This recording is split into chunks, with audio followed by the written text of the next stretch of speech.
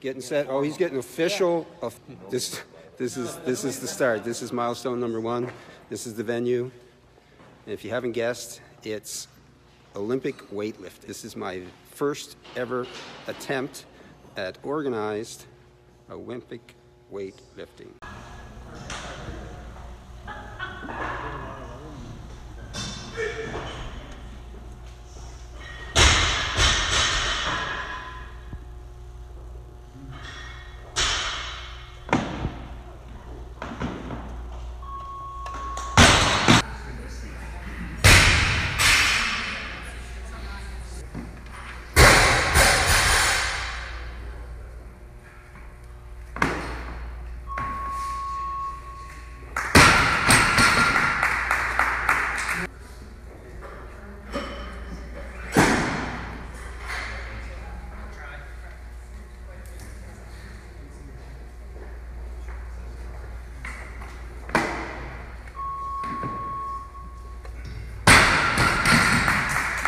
No